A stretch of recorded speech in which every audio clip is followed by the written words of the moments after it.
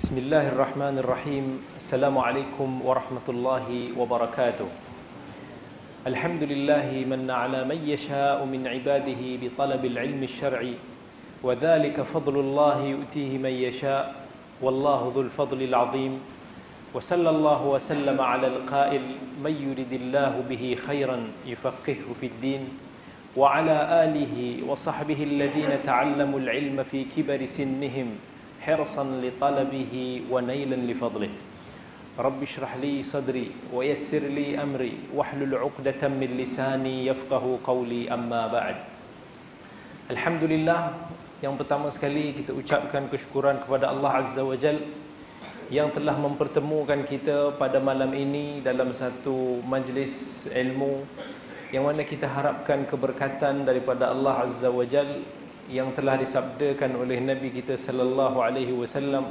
dalam sebuah hadis yang diriwayatkan oleh Al-Imam Abi Dawud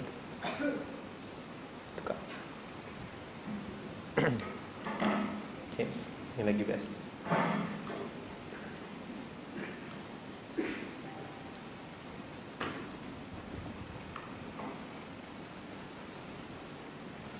Nabi kita sallallahu alaihi wasallam sabdakan dalam sebuah hadis yang diriwayatkan oleh Imam Abi Dawud man salaka tariqan yaltamisu fihi ilma salaka Allah bihi tariqan ila al-jannah Nabi bagi tahu siapa yang menyelusuri jalan untuk nak menuntut ilmu maka Allah akan mempermudahkan laluannya ke syurga.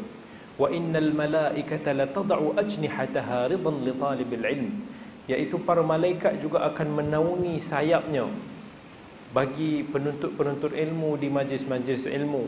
Wa innal alim la yastaghfiru lahu man fis samawati wa man fil ard hatta al hitanu fi jawfil ma. Nabi sebut lagi bahawa seorang yang berilmu itu akan diminta keampunan oleh para malaikat dan sehinggalah ikan-ikan di lautan. Jadi kita insya-Allah pada malam ini kita akan uh, berkongsi sebanyak sedikit sebanyak tentang satu topik yang telah diberikan kepada saya iaitu berkaitan dengan panduan nabawi dalam kehidupan kita. Bila kita sebut tentang nabawi ataupun nabi kita sallallahu alaihi wasallam baginda adalah merupakan seorang insan yang kita semua kenal yang kita semua sayang yang kita semua kasih. Tetapi kita tidak sedar bahawa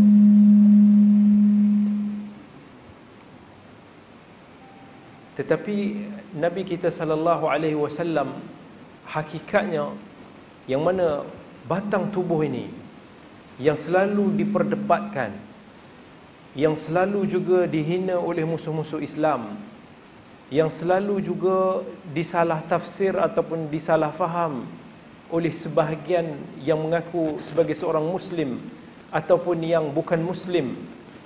Ini adalah seorang tokoh yang kita kata sebagai satu ikon yang seharusnya kita jadikan sebagai model dalam kehidupan kita. Yang mana Nabi sallallahu alaihi wasallam yang Allah telah sabdakan dalam Al-Quran Allah firmankan dalam Al-Quran laqad kana lakum fi rasulillahi uswatun hasanah sesungguhnya pada diri Rasulullah sallallahu alaihi wasallam itu ada satu qudwah satu uswah teladan yang seharusnya kita ikuti. Kerana Nabi kita sallallahu alaihi wasallam diutuskan untuk nak menyempurnakan akhlak umat. Yang mana Nabi sallallahu alaihi wasallam sebut innama bu'ithtu li utammi masalihal akhlaq Sesungguhnya aku diutuskan untuk nak menyempurnakan akhlak manusia. Begitu juga Nabi sallallahu alaihi wasallam diutuskan untuk nak membaiki tauhid dan akidah manusia. Dan kita hari ini sebagai sebagai umat Islam kita seharusnya berbangga kerana kita adalah umat Muhammad yang mana Allah Azza wa Jalla sebut dalam Al-Quran kuntum khaira ummatin ukhrijat lin-nas kalian adalah umat yang terbaik yang telah dipilih daripada kalangan manusia yang mana kalau kita tengok mana-mana agama lain di dunia ini tak ada satu agama pun yang menyediakan panduan yang lengkap sebagaimana agama kita Kalau kita tengok agama lain, tak ada satu agama pun yang memperincikan tentang kehidupan kita seharian. Sebagaimana agama Islam itu. Sebab itu agama Islam itu disifatkan sebagai agama yang syumul. Agama yang sempurna. Yang mana Allah Azza wa Jal sebut dalam Al-Quran, Ma farratna fil kitab min syai' bahawa kami tidak tinggalkan apa-apa pun melainkan adanya petunjuk di dalam Al-Quran. Even Allah sebut lagi dalam Al-Quran wa nazzalna 'alaikal kitaba tibyanan likulli syai' bahawa Allah turunkan Al-Quran itu sebagai panduan penjelasan kepada semua umat manusia. Kerana itu kita seharusnya gembira kerana kita memiliki agama yang sempurna yang Allah sebut lagi dalam suratul Maidah Al-yawma akmaltu lakum dinakum wa atmamtu alaikum ni'mati wa raditu lakumul islam dina. Pada hari ini telah kusempurnakan agamaku dan telah aku reda Islam itu sebagai agama kalian. Yang mana ayat ini diturunkan pada hari Arafah iaitu pada hari Jumaat sebagaimana dalam hadis Sahihul Bukhari ketika mana ada beberapa orang Yahudi datang berjumpa dengan Umar. Dia kata wahai Umar kalaulah ayat ini diturunkan dalam agama kami nescaya kami akan jadikan ianya satu hari perayaan.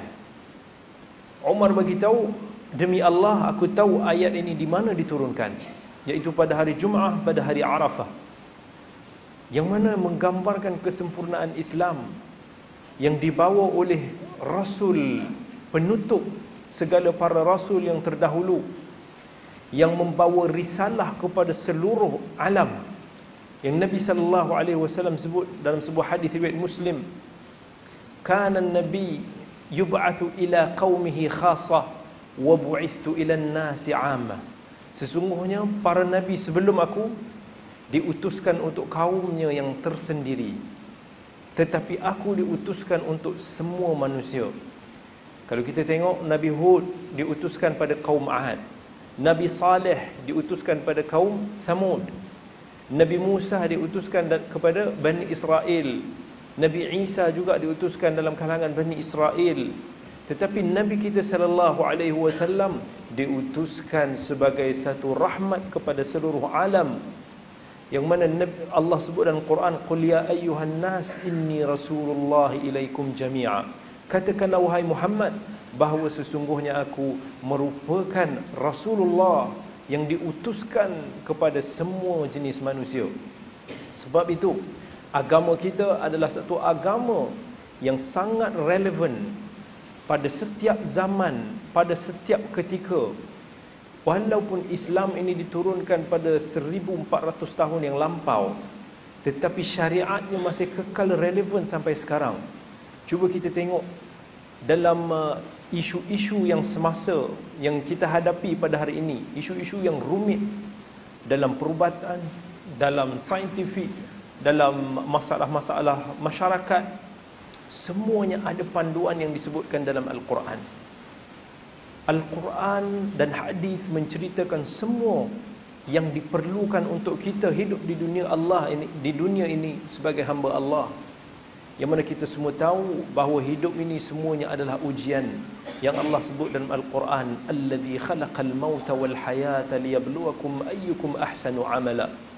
Sesungguhnya diciptakan kehidupan dan kematian itu semuanya adalah ujian yang mana ujian ini adalah nak melihat sama ada kita mampu menjadi hamba Allah yang sebenarnya ataupun tidak.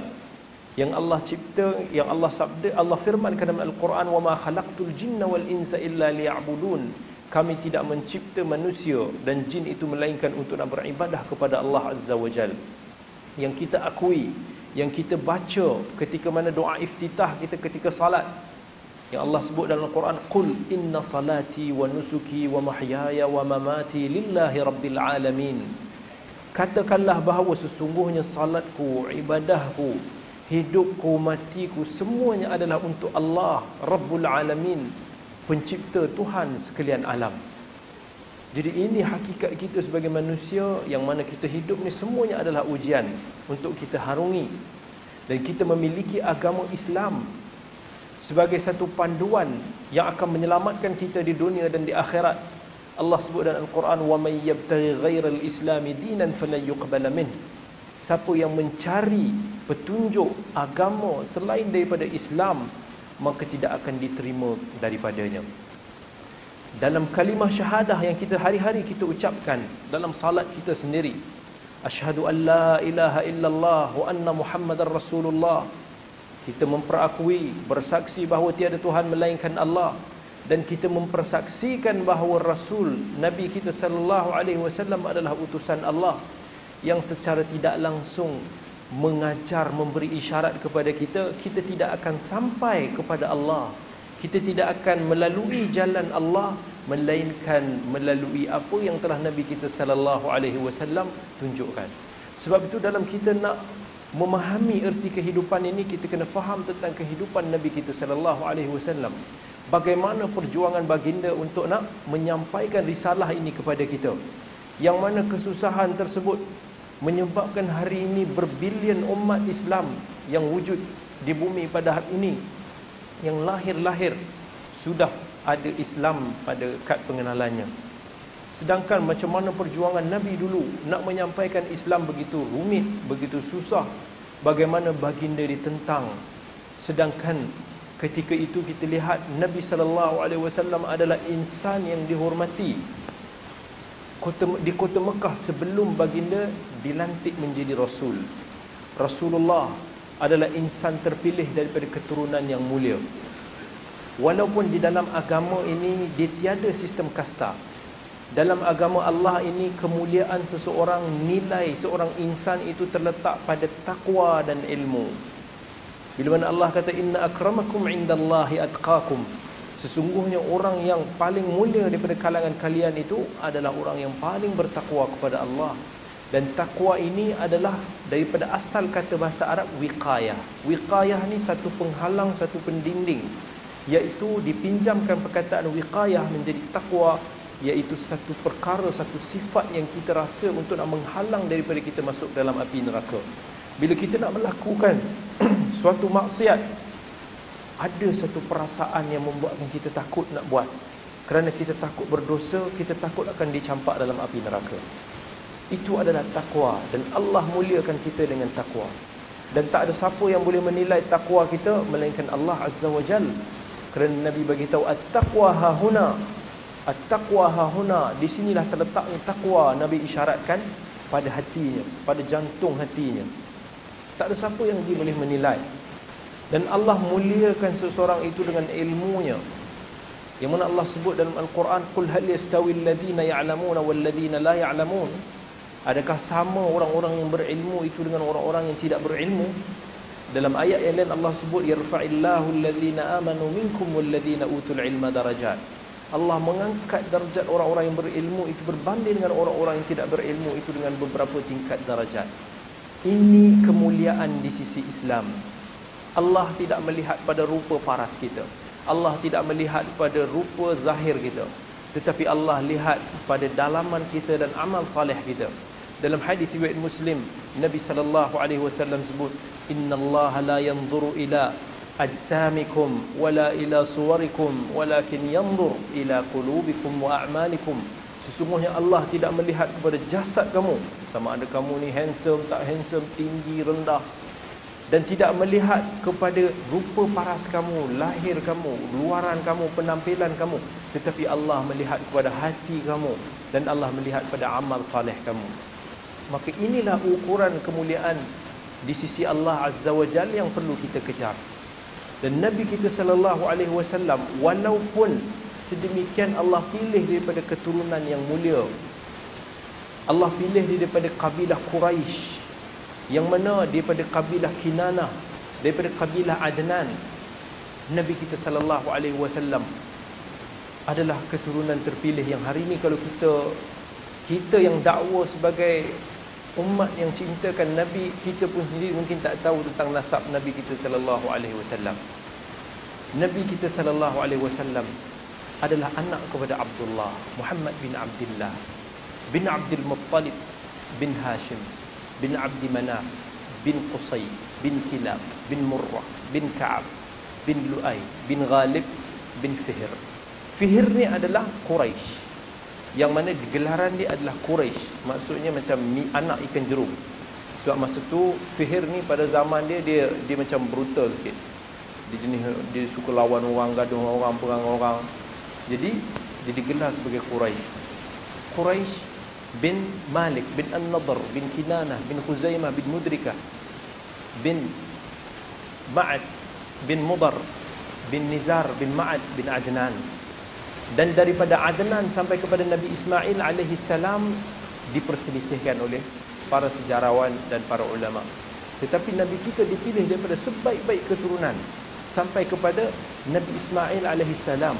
Dalam hadis riwayat At-Tabrani Nabi bagi tahu aku dilahirkan daripada keturunan yang sah dan tiada dalam susu gaduh Nabi kita sallallahu alaihi wasallam yang dilahirkan daripada sifah daripada pelacur maksudnya keturunan Nabi kita bersih.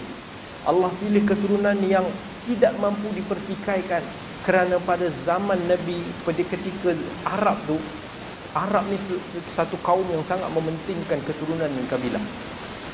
Siapa yang pernah duduk di Arab pernah belajar di Arab dia tahulah. Dia, dia orang penting al-al apa kat belakang tu. Dia tak kisah nama kita siapa. Kalau dia tanya nama kita siapa kita sebut nama saya Abdul Aziz. Dia kata Abdul Aziz mana dia nak al tu siapa? Al-qahtani al-al al apa yang tu penting. So, dari situ dia tahu tentang keturunan. Walaupun benda tu masih wujud sampai sekarang. Dan pada zaman Quraisy lagilah penting. Maka Allah utuskan Nabi kita sallallahu alaihi wasallam daripada keturunan yang paling mulia supaya tak ada siapa boleh pertikaikan. Dan kemudian Nabi kita sallallahu alaihi wasallam dikeluarkan, diutuskan, dilahirkan daripada kota Makkah yang mana barakah yang kita semua sedia maklum yang Nabi sallallahu alaihi wasallam sangat sayangkan Makkah. Nabi sebut dalam sebuah hadis, "Wallahi laula anni ukhrijtu mink lama kharaj." Kalaulah tak kerana aku dulu pernah dihalau daripada Mekah, aku tak akan keluar daripada Mekah. Nabi hidup dalam kalangan satu masyarakat yang kita kata sebagai rosak sosialnya. Masyarakat yang dari sudut penindasan terlampau berlaku kezaliman yang banyak yang menzalimi hamba yang menzalimi dalam perniagaan yang menzalimi berperang dengan kabilah yang lain yang rosak sosialnya yang menanam anak perempuan hidup-hidup. Yang Allah sebut dalam Al-Quran wa idza busyira ahaduhum bil untha dhalla wajhu muswaddan wa huwa kadhim. Allah kata orang-orang Quraisy musyrikin dulu bila mana diberitakan dapat anak perempuan dhalla wajhu muswadda. Muka mereka pun berubah menjadi muram sebab menanggung aib. Mereka bunuh anak-anak perempuan. Yang Allah sebut dalam Al-Quran lagi wa idzal mau'udatu su'ilat bi ayyi dhanbin qutilat. Dan bila mana anak-anak kecil yang ditanam itu dibangkitkan di akhirat nanti lalu dia akan bertanya dia kata kenapa kami atas dosa apa kami ini dibunuh tetapi Allah selamatkan Nabi kita sallallahu alaihi wasallam daripada terjebak daripada gejala-gejala itu Allah cenderungkan hati Nabi kita sallallahu alaihi wasallam untuk menjauhi masyarakat kota Mekah dulu. Nabi lari Nabi pergi jauh daripada pusat-pusat bandar di Mekah dulu yang berlakunya pesta arak yang berlakunya riba yang berlakunya pelbagai maksiat. Nabi sebelum umurnya 40 tahun selalu bersendirian mendaki gua Hira berulang alik membawa bekalan yang dibekalkan oleh isteri tercinta Khadijah. Mencari ketenangan mencari ilham yang kemudiannya dalam satu hari ketika baginda berusia 40 tahun Allah utuskan malaikat Jibril dengan membawa wahyu yang pertama iaitu iqra bismi rabbikal ladzi khalaq. Khalaqal insana min 'alaq. Iqra wa rabbukal akram alladzi 'allama bil qalam Allah sebut iqra bismi rabbikal ladzi khalaq. Bacalah dengan nama Tuhanmu. Allah tak kata iqra sahaja. Tetapi Allah sebut iqra bismi rabbikal ladzi khalaq. Bacalah dengan nama Tuhanmu yang telah menciptakan. Allah bagi isyarat kepada kita apa pun ilmu yang kita perolehi ilmu yang kita perolehi daripada seruan iqra tadi tu Allah kata kita jangan lupa bahawanya untuk nak mengait mengikat dia dengan Allah Azza wa Jal. Jangan kita sampai kufur kepada Allah. Kita belajar menimba ilmu itu semua kerana Allah Azza wa Jal. Mesti kena Allah itu hadir dalam hidup kita. Dalam hati kita ketika mana kita menimba ilmu. Itu adalah wahyu yang pertama diturunkan kepada Nabi kita sallallahu alaihi wasallam. Apa lagi agama yang menunjukkan tentang kepentingan ilmu selain daripada Islam? Carilah dalam mana-mana agama lain sekalipun. Kita tak akan jumpa mana-mana agama yang bercerita tentang ilmu ini, kepentingan ilmu ini selain daripada Islam. Allah sebut dalam Al-Quran, tadi kita dah bacakan sebahagian daripada ayatnya. Kalau kita tengok hadis-hadis Nabi sallallahu alaihi wasallam, banyak yang amat bercerita tentang bercerita tentang ilmu. Kalau kita tengok hadis, kita tengok Sahih Bukhari sahaja, dia ada buat satu bab yang dinamakan sebagai Kitabul Ilm. Dalam bab tersebut sahaja ada lebih kurang 101 atau 102 hadis. Banyak yang menceritakan tentang ilmu dan kelebihan-kelebihan ilmu. Para ulama mengarang kitab-kitab yang khas cerita tentang kelebihan menuntut ilmu. Ibnu Abdul Bar yang meninggal tahun 463 Hijrah. Dia ada kitab Bayan Jami' Bayanil Ilm wa Fadlih yang cerita tentang ilmu dan kelebihannya. Al-Khatib Al-Baghdadi yang meninggal pada tahun 463 Hijrah juga mengarang kitab Al-Faqih wal Mutafaqih yang menceritakan tentang ilmu dan kelebihan orang yang mendalami ilmu ini dan ilmu itu tidak terhad kepada ilmu agama semata-mata. Kita tak nafi bahawa ilmu agama antara ilmu yang paling penting untuk nak kita semua sebagai umat Islam untuk nak dalami. Itu adalah punca segala kebaikan yang Nabi sallallahu alaihi wasallam sabda dalam hadis Bukhari dan Muslim, hadis Muawiyah, "Man yuridillahu bihi khairan yufaqihu fid din." Siapa yang Allah kehendaki pada dirinya kebaikan Allah akan dalamkan ke, ke, kefahaman di dalam agama jadi ini satu ilmu yang paling penting. Sebab ilmu inilah yang akan membawa kita bekalan sebagai bekalan agama kita yang akan mensahihkan amalan kita yang akan membuatkan kita hampir kepada Allah Azza wa Jal. Tetapi ia tidak menafikan kepentingan ilmu-ilmu lain seperti ilmu sains, ilmu uh, teknologi, ilmu perubatan dan sebagainya.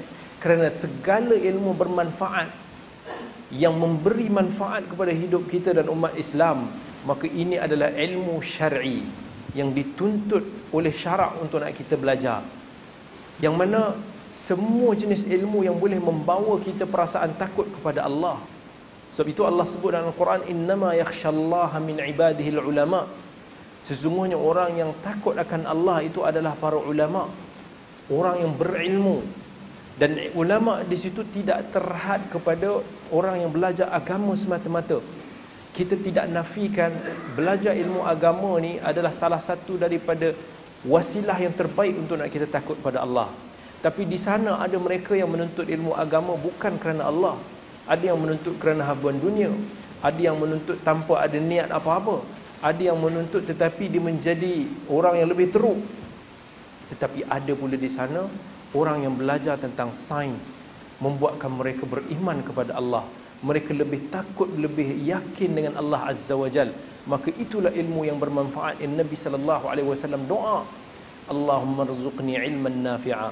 Ya Allah kurniakanlah aku ilmu yang bermanfaat. Jadi kat sini terletaknya kefahaman kita dalam memahami ayat-ayat Allah dan hadis Nabi sallallahu alaihi wasallam.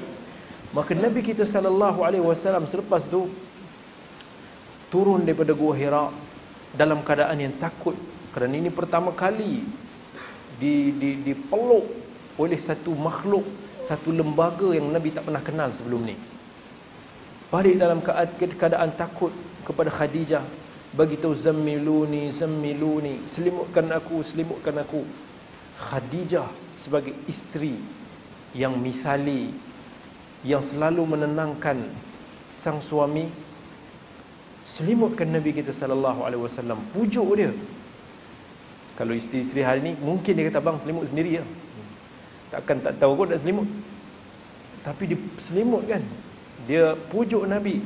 Dia kata ya Rasulullah eh, dia kata wahai Muhammad kalla wallahi la yuhzika abada.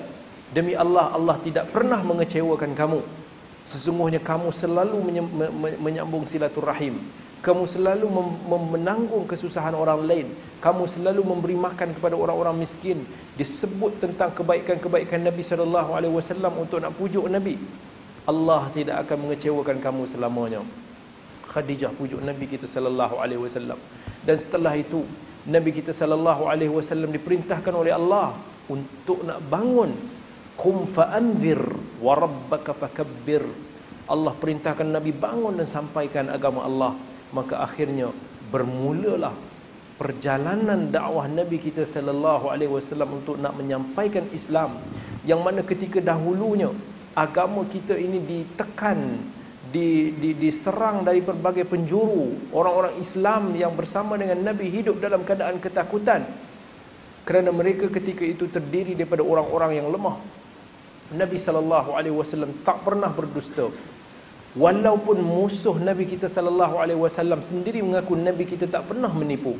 Abu Sufyan ketika ditanya oleh Hercules Herakl tentang seorang lelaki yang mendakwa sebagai rasul dia bagi tahu ditanya kepada Abu Sufyan adakah kamu kenal dia? Dia sebagai seorang yang pernah menipu sebelum ni? Abu Sufyan yang belum memeluk Islam masa tu yang memusuhi Nabi ketika itu mengaku dia kata tak pernah. Dia tak pernah tipu sebab Nabi sallallahu alaihi wasallam sebagai rasul yang amin kita adalah agama yang sangat menentang tentang apa-apa pendustaan. Bahkan Nabi kita sallallahu alaihi wasallam sebut dalam hadis riwayat Abi Dawud Nabi kata ana za'imun bi baitin fi rabadil jannah liman taraka al mira'a wa in kana muhiqqa. Wa ana za'imun bi baitin fi wasatil jannah liman taraka al kadhiba wa in kana muhiqqa. Nabi kata aku jamin tempat seseorang itu di pinggiran syurga rumahnya di pinggiran syurga mereka yang sanggup meninggalkan perdebatan yang sia-sia walaupun dia di pihak yang benar Nabi kata lagi dan aku menjamin rumahnya di pertengahan syurga.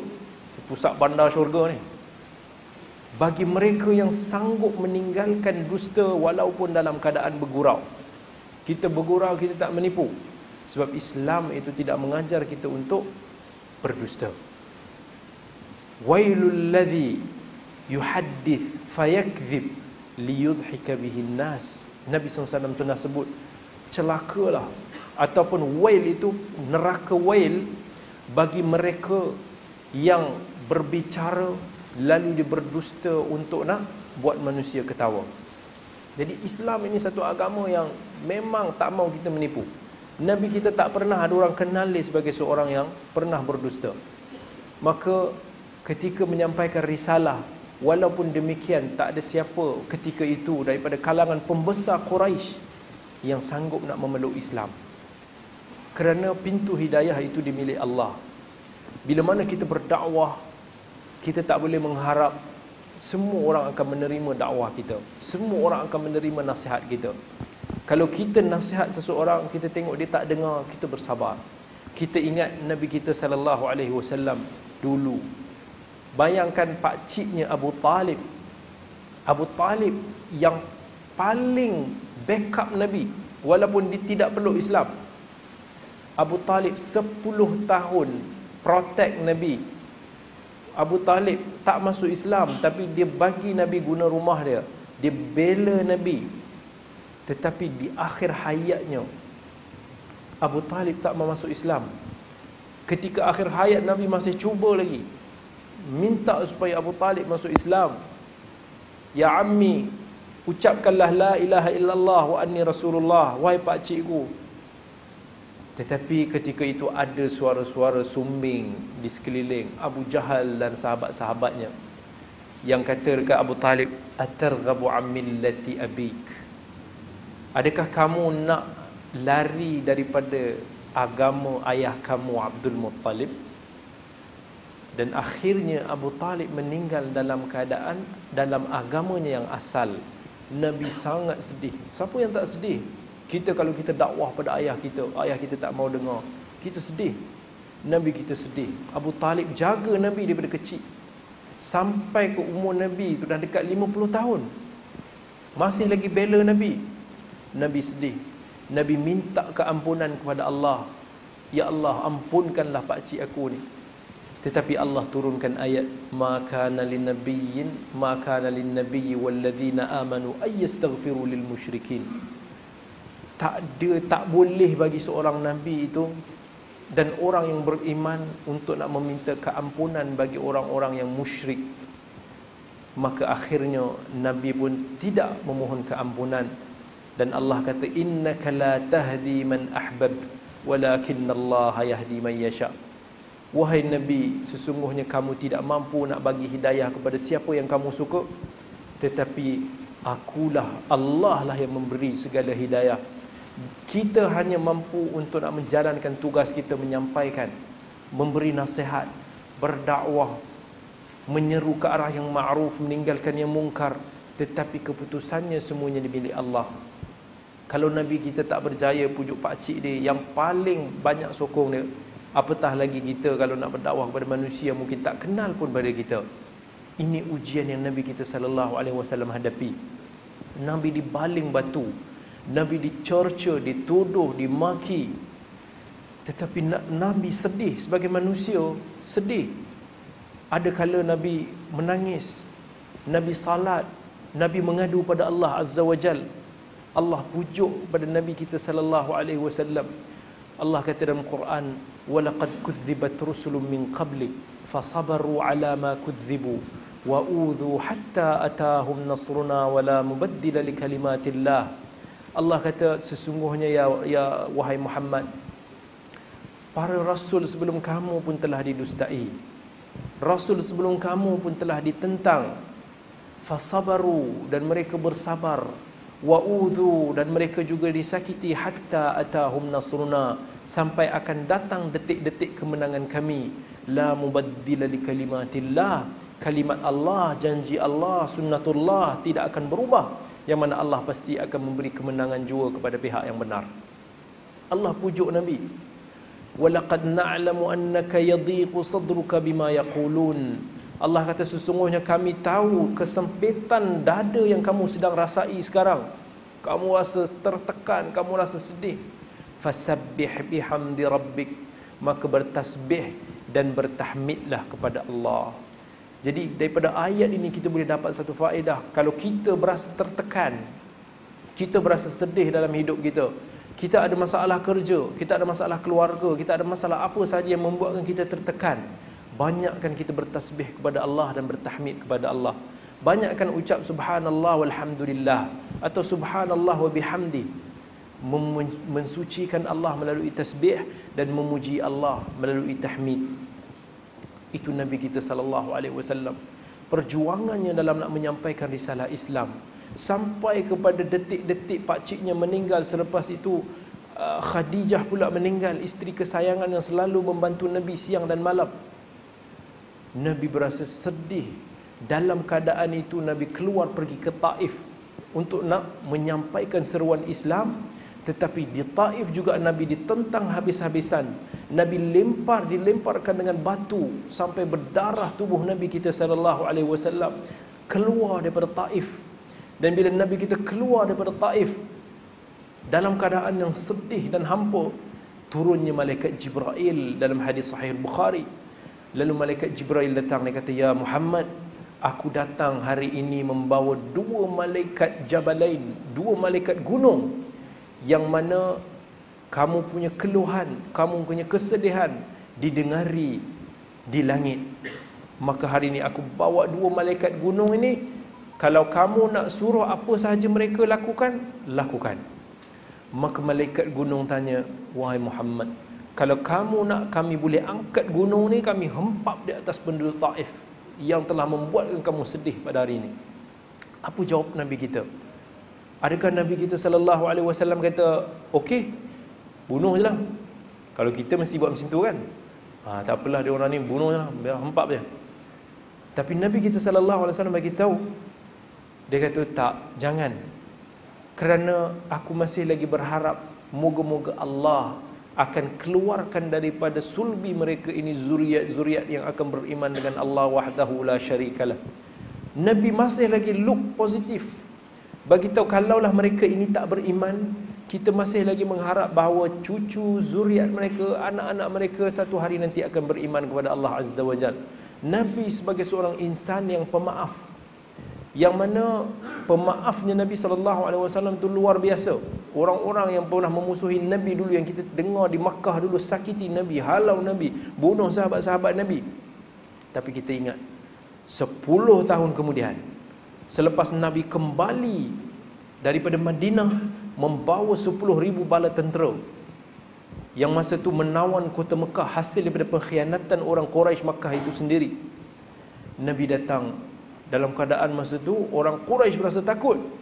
Kerana ditakut Nabi akan balas dendam. Nabi akan bunuh mereka ke atas apa yang mereka lakukan dulu. Tetapi apa yang apa yang Nabi tanya? Nabi tanya kepada orang Quraisy masa itu, "Ma tadhunnuna anni fa'ilun bikum?" Apa yang kamu rasa aku nak buat pada kamu semua pada hari ini? Jadi orang Quraisy takut. Dia kata kami kami kenal kau sebagai orang yang baik, keluarga yang baik. Ah masa tu pujilah. Maka Nabi sallallahu alaihi wasallam bagi tahu, "Idhhabu fa antum tulaqa." Dalam riwayat yang lain, "Idhhabu la tathriba alaikumul yaum." Pergilah kamu bebas. Tak ada lagi kesalahan kamu pada hari ini. Nabi bebaskan. Nabi nak tunjukkan kemuliaan Islam, satu agama yang penuh dengan toleransi dan kemaafan. Yang mana hari ini kita susah nak maafkan orang, Nabi kita insan yang pemaaf. Kerana ganjaran bagi orang yang maaf itu sangat besar di sisi Allah dalam surah Ali Imran. Bila mana Allah sebut jannatun tajannatun arduha samawat wal ard uiddat lil muttaqin syurga yang Allah sediakan seluas bumi dan langit itu disediakan bagi orang yang bertakwa siapa itu orang yang bertakwa Allah sebut alladzina yunfiquna fis sarra'i wad dharra'i wal kadhimina al ghaidha wal 'afina 'anil nas. Salah satu cirinya ialah orang yang mampu untuk nak memendamkan amarah dendam dia dan mampu memaafkan manusia. Wa in ta'fu wa tasfahu wa taghfiru fa inna allaha ghafurur rahim. Allah sebut dalam Quran tasfahu ta'fu wa tasfahu wa taghfiru. Tiga kalimah yang kita terjemah sebagai ampunkan. Tetapi ketiga-tiga ini ada bezanya. Ta'fu maksud dia maafkan ampunkan. As-safa maksud dia juga dalam bahasa Melayu ampunkan. Al-maghfirah juga maksud yang sama maaf dan ampunkan. Tetapi ada beza. Dalam bahasa Arab jika disebut tiga-tiga perkataan ni dia ada makna yang berbeza. Wa in ta'fu maksudnya kita maafkan seseorang dalam keadaan kita tak kita dah khalas kita tak nak hukum dia dah. Tetapi tak semestinya kita maafkan orang kita tak sebut lagi dia punya kesalahan lepas daripada tu. Ramai daripada orang bila dia dah maafkan orang diungkit balik. Kat situ terletaknya peranan as-safh. Wa in ta'fu wa tasfahu. As-safah kat sini maksudnya kita maafkan orang dan kita tak salahkan dia dah. Kita tak ungkit dah cerita tu. Al-maghfirah wa taghfiru keampunan yang kita bagi yang kita delete rekod dia. Walaupun besar mana pun kesalahan mereka, kita tak sebut, kita tak ungkit dah. Kita padam delete history dia daripada diri kita. Khalas. Ini darajat kemaafan yang tertinggi yang perlu kita amalkan dalam hidup ini. Islam adalah agama yang telah meninggalkan semua jenis petunjuk pada diri kita. Carilah mana-mana agama yang sesempurna Islam. Kita tak akan jumpa orang yang mendalami Islam betul-betul, yang faham tentang Islam, dia akan pergi kepada agama lain. Tak ada. Orang yang selalu keluar daripada agama Islam ni orang yang biasanya daripada hidup dia, dia tak amal Islam. Dia tak faham tentang Islam. Kita tak akan jumpa ulama Islam yang faham tentang Islam keluar daripada agama Islam. Tetapi kita akan jumpa para-para ulama, para-para sekolah, para-para pederi daripada agama lain yang memeluk Islam.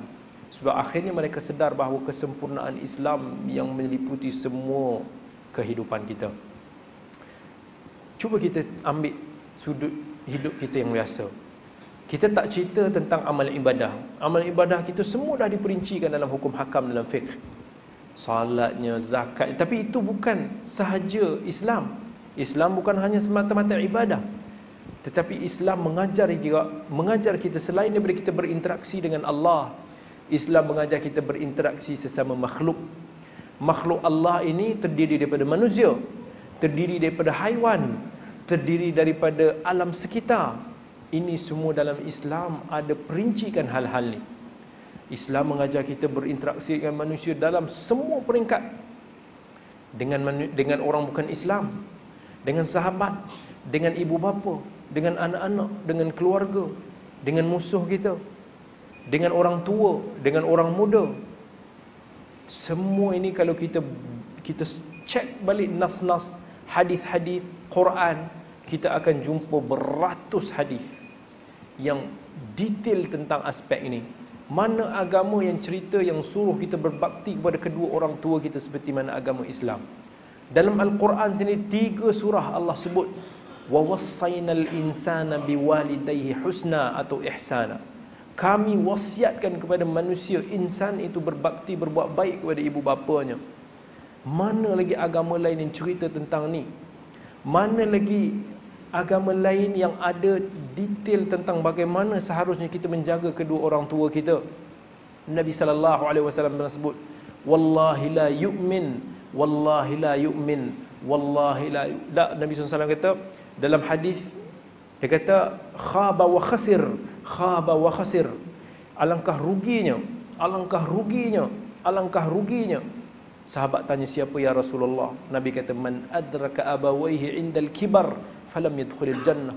Siapa yang sempat hidup bersama dengan orang tuanya di kala mereka tua tapi tak dapat masuk syurga.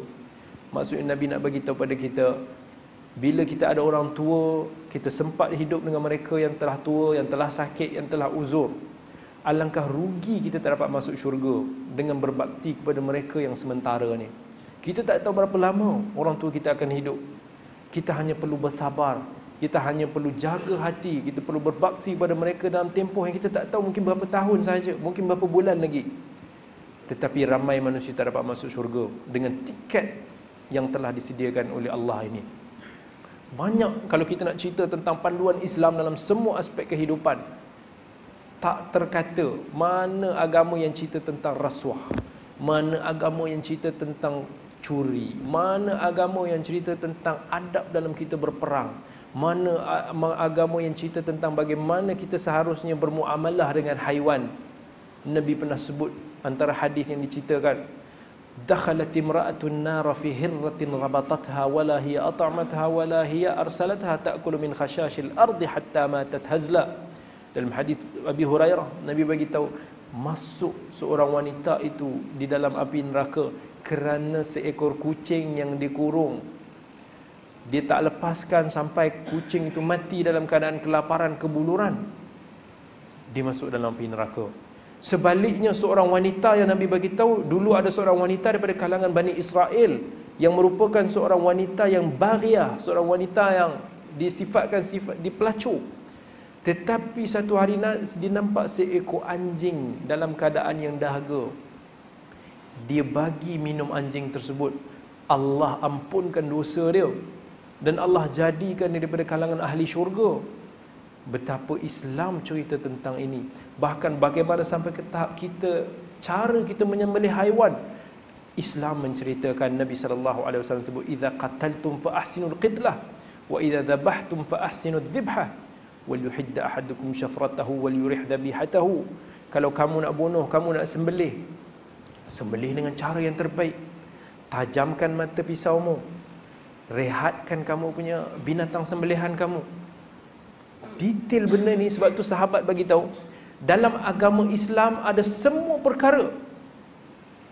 Bahkan sehingga dalam toilet sekalipun. Sahabat bagi tahu wa hatta Bahkan sampai adab kita membuang najis sekalipun dalam Islam ada sebut. Nabi Islam ada ajar kita. Macam mana adab kita jauh jangan jangan menghadap kiblat tentang bagaimana kebersihan. Begitu detail. Sebab tu kita hanya tinggal sebagai umat Islam untuk nak belajar, untuk nak menggali, untuk nak nak memanfaatkan ilmu-ilmu ini dan kita akan dapat hasil dia. Dan belajar ni semua adalah semata-mata untuk Allah demi Allah Azza wa Jal. Bukan kerana habuan dunia bukan kerana populariti bukan kerana apa sekalipun. Dan inilah adalah kunci kejayaan kita di dunia dan di akhirat. Panduan daripada nabi kita kita ambil. Laqad kana lakum fi rasulillah uswatun hasanah pada diri Rasulullah itu ada teladan yang baik untuk nak kita ikuti dan Aisyah bagi tahu kana khuluquhul Quran. Sungguhnya akhlak Nabi sallallahu alaihi wasallam itu Al-Quran. Tetapi di mana akhlak kita umat Islam kita pada hari ini?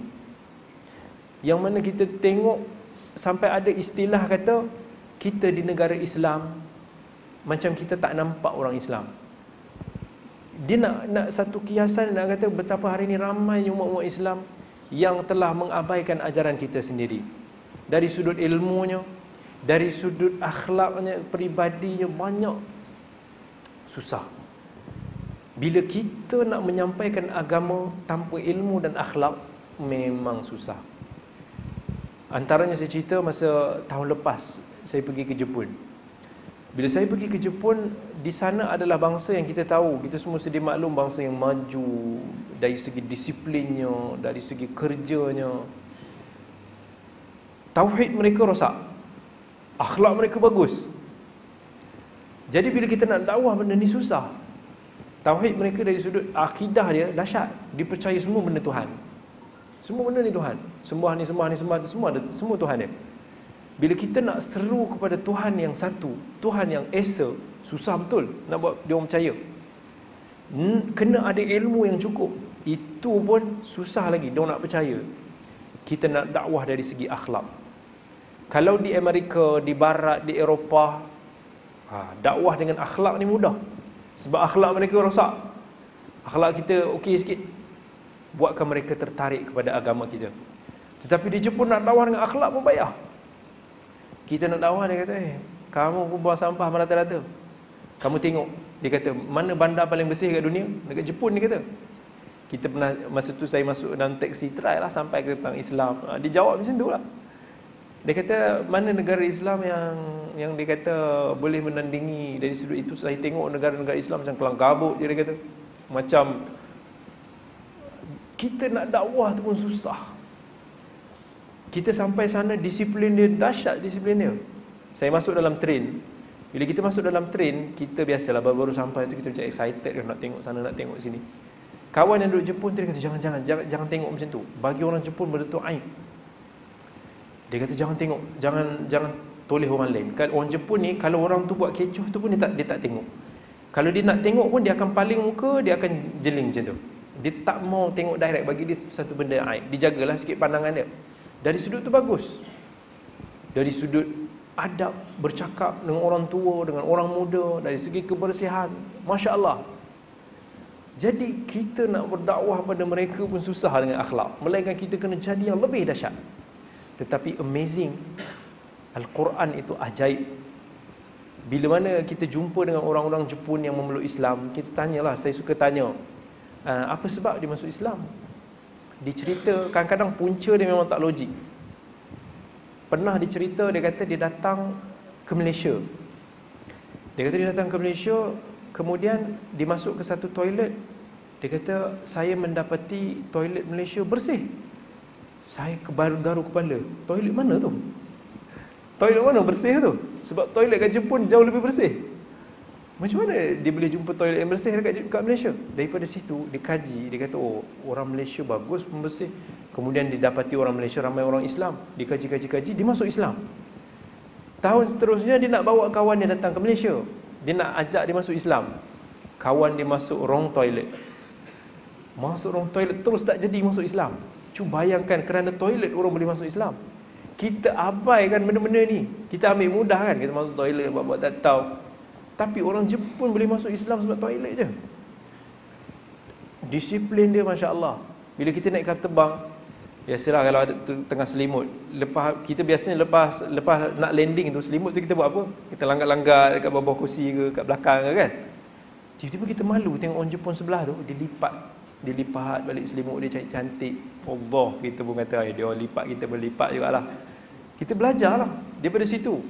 Banyak benda-benda begitu yang hari ini kita gagal nak berdakwah kepada masyarakat disebabkan kekurangan diri kita. Kekurangan agama kita dari sudut ilmu dan juga dari segi amalan. Target dalam hidup kita satu je.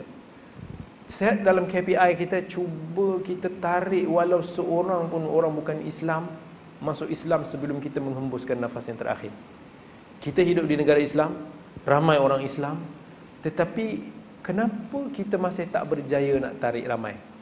Kenapa kita sendiri tak berjaya nak tarik walau seorang berminat mendekati Islam? Pertama, adakah kita pernah mencuba? Adakah kita ada ilmu? adakah kita betul-betul ada semangat untuk nak menarik mereka kepada Islam bila kita ada semangat kita akan tunjuk dari segi akhlak dari segi even kejiranan kita boleh tarik. Dia akan terpikat dalam Islam. Kita dengar kisah-kisah uh, ulama dulu macam mana ada jiran yang boleh masuk Islam kerana akhlak dia. Sahal At-Tustari pada zaman tabi'in dulu. Bayangkan dia hidup dia duduk jiran ni duduk dekat belakang bukit tinggi sikit. Jiran ni duduk tinggi kemudian najis-najis air-air kotoran yang turun daripada sahal uh, daripada jiran itu jatuh ke rumah dia. Tapi jiran yang majusi tu tak dia tak tahu. Dia tak tahu dia punya kotoran tu masuk ke rumah jiran dia yang bawah. Kalau kita lah mesti kita akan sound kan woi apa ni? Pergi buang sendirilah. Tapi Sahal Tustari ni Masya Allah Dia nak cuba dakwah kepada jiran dia Mengambil masa bertahun-tahun. Dia tak pernah komplain dekat jiran dia Apa yang dia buat? Dia, dia kambus balik Dia korek balik kotoran-kotoran Najis-najis yang turun daripada jiran dia tu Pada malam hari. Kenapa buat malam hari? Sebab dia tak nak jiran dia nampak pada siang hari. Nanti jiran dia akan nampak macam semacam pula. Jadi dia buat malam masa orang tak nampak Dia buang jauh. Macam tu rutin hari-hari dia. Sampai Sahal At-Tustari satu hari dalam keadaan yang nazak dia nak meninggal lah. masa dia dah nazak tu dia minta panggilkan jirannya jiran dia yang majusi tu datang. Bukan Islam ni dia datang. Dia pun panggil pada jiran dia wahai fulan aku nak bagi tahu satu je benda. Benda ni aku terpaksa bagi tahu sekarang. So aku tak tahu selepas aku mati nanti orang lain masuk rumah aku mungkin dia tak boleh tahan dengan benda ni. Aku boleh tahan. So jiran dia tanya apa dia? Dia gitu dia, dia pun bagi tahu kamu tahu tak sebenarnya kotoran kamu najis kamu yang kamu buang ke atas tu semua jatuh kat rumah aku tetapi aku buang di malam hari supaya tak sakitkan hati kamu nak jaga hati kamu sebagai jiran jiran tu kata kenapa kamu tak bagi tahu dia kata kerana Islam mengajar kita tentang adab kejiranan. Kerana Nabi pernah pesan, dia kata mazala Jibril yusini bil jar hatta dhanantu annahu sayuwarrithu. Jibril selalu datang berpesan kepada aku tentang jiran. Sehingga seolah-olah kita aku merasakan bahawa jiran itu akan menjadi waris. Dan dia kata kerana itu aku tak bagi tahu. Tapi aku tak tahu orang selepas ni yang masuk ke rumah aku ni dia boleh tahan tak? Jadi aku bagi tahu kau supaya kau careful kau sedar. Orang tu dia jetak dia rasa macam insaf terus. Terus dia kata begini ke yang agama kamu ajar kemudian dia masuk Islam bayang di akhir hayat dia boleh lagi dakwah dia boleh tarik seorang masuk Islam kita hari ini gagal dalam benda tu muhasabah diri kita kenapa kita gagal banyak sebab kita sendiri tak semangat kita sendiri tak tak mau kita tak mau buat benda tu. Kalau kita nak sebenarnya boleh. Tapi kita tak berani buka mulut. Akhlak kita, karakter kita sendiri, kita tak mampu nak tunjulkan yang terbaik. Jadikan Nabi kita sebagai panduan. Nabi kita, orang yang masuk Islam dulu, bukan hanya kerana seruan dia, bukan hanya kerana akidah Nabi, tetapi ramai juga yang tertarik masuk Islam kerana faktor akhlaknya Nabi sallallahu alaihi wasallam. Tengok Nabi tak ada siapa yang akan akan rasa macam tak bagus. Semua tengok Nabi dalam keadaan Nabi senyum. Bila berkasar dengan Nabi, Nabi balas dengan balasan yang baik. Orang Arab Badui datang kat Nabi, dia datang dia cekak ni ni. Dia cekak kain Nabi kat leher ni. Ya Muhammad, dia rentak sampai sahabat begitu merah. Wahai Muhammad, a'tin min malillahi alladhi a'tak. Dia kata, wahai Muhammad, bagi aku harta yang Allah dah bagi kat kamu. Maksudnya dia nak duit zakat. Ataupun dia nak duit-duit harta rampasan perang. Sampai dia tolak Nabi dekat dekat dekat pokok. Kasar. Orang-orang Arab Badui ni macam kata kampung dalam-dalam yang duduk kat padang pasir ni. Dia tak tahu tentang budi-budi pekerti ni. Di direct macam tu ya. Sahabat marah. Tapi Nabi bagi isyarat. Jangan. Nabi gelak. Nabi ketawa. Lepas tu dia kata kat sahabat bagi. Bagilah dia apa yang dia nak. Orang tu minta lagi. Bagilah lagi. Minta lagi. Suruh bagi lagi. Nabi ketawa.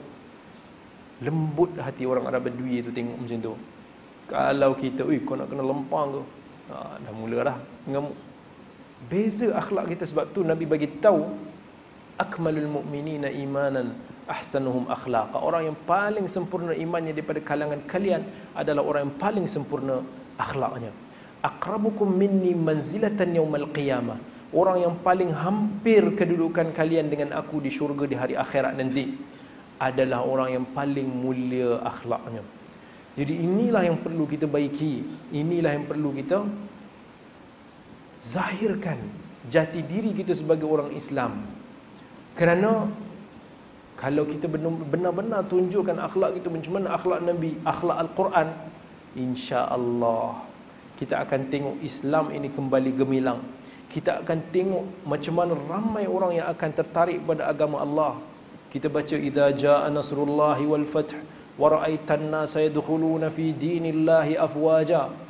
Allah bagi tahu masa ayat diturunkan pada akhir hayat Nabi ketika mana telah datangnya kemenangan dan pembukaan dan manusia datang masuk ke dalam agama Allah ni berbondong-bondong. Hari ini kita slow kita lambat kita tak mampu nak buat. Maka insya-Allah kita doa supaya Allah bagi kita kebaikan bagi kita peluang untuk nak tarik manusia ke jalan hidayah Allah. Tak semestinya orang bukan Islam even orang Islam yang dah menjauhi agama Allah kita didik mereka, kita bimbing mereka, kita bawa mereka untuk nak dekati agama Allah. Itu juga adalah satu dakwah. Salah satu hidayah yang kita boleh bawa. Nabi sallallahu alaihi wasallam sabda dalam hadis riwayat Bukhari, la yahdiyallah li ayyahdiyallahu bika rajulan wahidan khairul laka min hamrin na'am.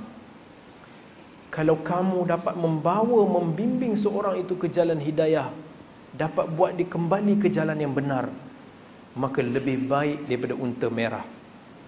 Unta merah pada zaman Nabi adalah unta yang paling mahal. Kenderaan yang paling paling sedap lah. Pada zaman kita mungkin kita kata Ferrari. Kereta-kereta macam tu. Ini lebih bernilai dengan kita bawa manusia kembali ke jalan hidayah. InsyaAllah. Moga Allah bagi kita kemuliaan tersebut dan uh, saya ucapkan terima kasih banyak-banyak kepada hadirin yang bersama hadir pada malam ini. Apa yang baik itu datang daripada Allah apa yang kurang itu datang daripada kelemahan diri saya sendiri. Aqulu qawli hadha wa astaghfirullah al-azim li wa lakum. Wassalamu alaikum warahmatullahi wabarakatuh.